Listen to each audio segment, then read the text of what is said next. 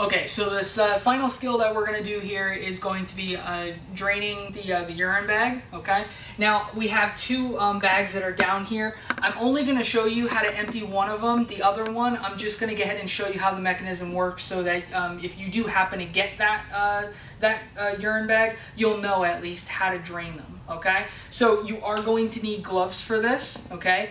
And you do uh, have to record at the end of this. It is an automatic fail if you do not record, so make sure that you do that, okay?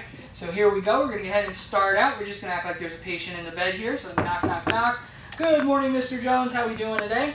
He's going to reply back that he's doing fine. Uh, great. My name is Michael, and I'm going to be your CNA today. And I'm going to get ahead and uh, I'm going to get some uh, some urine from you. Is that okay from your bag here? He says that that's fine. First, let me go ahead and close your curtain for privacy. Okay. I'm then going to perform hand hygiene. All right. And the first thing that you want to do is, is go ahead and get a paper towel, okay, that you're going to place down here on the floor. Now this is going to be your barrier, um, so that way you can put your graduate down, okay. Next, go ahead and get your gloves, okay, and you're going to go ahead and put them on. Remember, you are dealing with, uh, you know, blood or bodily fluids, so you want to make sure that you have gloves on. And again, choose the appropriate size because sometimes um, your hands can get a, you can get nervous, get a little sweaty, and it's hard to put these gloves on sometimes like that. Okay, so now that we have that, let me go ahead and get my graduate.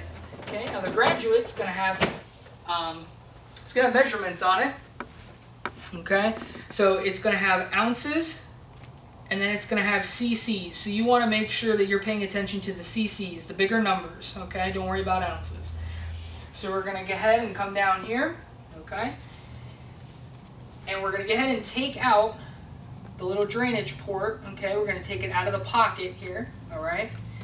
And we're just going to place it right into the center of the graduate. This is your graduate, okay? So you want to make sure that this does not touch the inside of the graduate, so you have to keep it kind of still in the middle, all right? Your thumb is going to go right underneath the uh, drainage pipe here, okay? Your finger goes right here, and you're just going to press down, and it's going to release the urine, okay?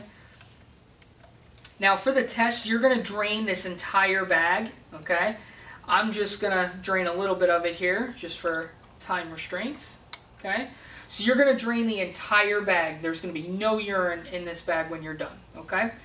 We're then going to wait a few seconds and allow some of this urine to drip in there, okay? Don't shake, just let gravity do its thing. And then you're going to place that drainage port right back into the pocket there, okay? Now, if let's say you had this urine bag here, okay? You would pull it out of the the pocket, okay, just like how it was on here, okay. This clip is not a push clip side to side. You have to press your thumb down here and forward, and it will actually unhook and will allow it to drain, okay. Once this is drained out, you're then just going to go ahead and push it closed. It snaps closed, and you put it right back in the pocket, okay. Now there are many different urine drainage bags out there. These are just two examples, okay? You're only going to have the one that you're going to have to go ahead and, and drain the urine out of, okay? So then you're going to come to, um, let's say, your toilet tank or your toilet seat, okay? I normally prefer to put it on the, the back of the tank, okay? You have to get it eye level, and you're going to go ahead and measure. So I'm going to measure, I'm at 275, okay? So remember that in your head, that you've got it at 275, okay? So now we're gonna go ahead and take my uh, paper towel, throw it away, okay? And now this urine needs to go in the toilet, okay? So you're gonna go ahead and put it in the toilet, okay? And then you're gonna rinse it out three times, placing the rinse into the toilet. Okay, so that's two, three, you're now going to go ahead and flush the toilet. You're going to get paper towels to clean and wipe the urine out of this, okay?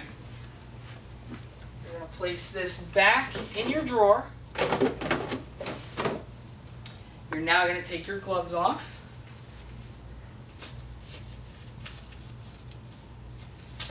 So now my gloves are off. I'm immediately going to record what I got. Okay, so I need to remember that number and it has to be in the output area of your sheet. Okay, you also have to put the time. Okay, so you want to make sure that you're putting down the time. Okay, and then um, that it was urine and the CCs and your initials. Okay. Now you're going to exit your patient. So, Mr. Jones, is there anything else that I can do for you? He says no, he's good. Okay, fantastic. So I'm just going to give the call light to his hand. Okay, I'm then going to open the curtain, perform hand hygiene, look around and make sure that my patient is nice and comfortable, that I've documented. I am now done with this skill.